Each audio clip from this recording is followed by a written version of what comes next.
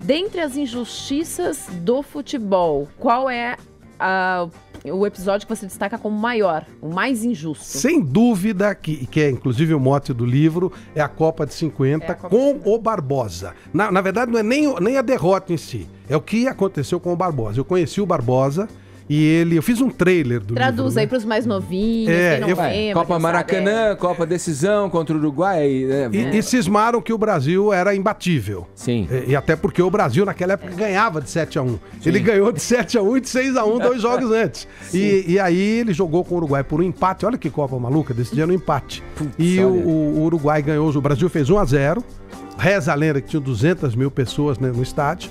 E aí o Brasil tomou o segundo gol e colocaram a culpa no Barbosa. Mas aí entra uma série de fatores que existem até hoje. Entrou o preconceito, o Barbosa era negro, o Barbosa, em 98, 94, 98, ele foi até a concentração do Brasil para dar um abraço no Tafarel e a comissão técnica não deixou, que diz que ele dava azar.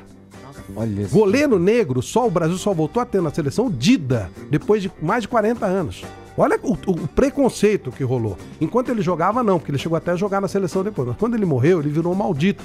E ele, ele, ele me disse, ele me declarou, isso aqui está no livro, ele declarou o seguinte: se ele tivesse matado alguém no dia 16 de julho de 1950, que ele pagaria pena máxima de 30 anos. E naquela época já faziam 43 anos que tinha acontecido, ele falou, e eu continuo sendo contestado. Ele entrava e falava, esse é o cara do gol de 50, esse é o cara Sim. do gol de 50. Ele, virou, ele morreu no- na miséria total, total.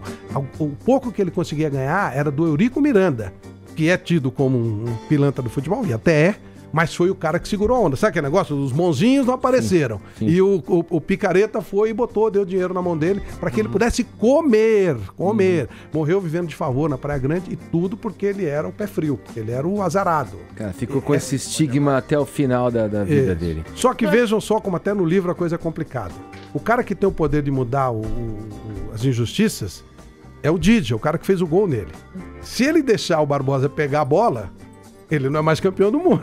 e vai ter que convencer o Uruguai a, a dar o título pro Brasil. Essa é a, essa é a história toda aqui. É um então, bom mote. É, esse, como é um que bom faz?